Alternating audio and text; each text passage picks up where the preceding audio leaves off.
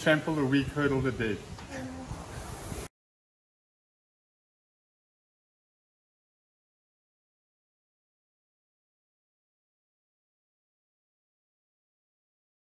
Make sure the technique is awesome.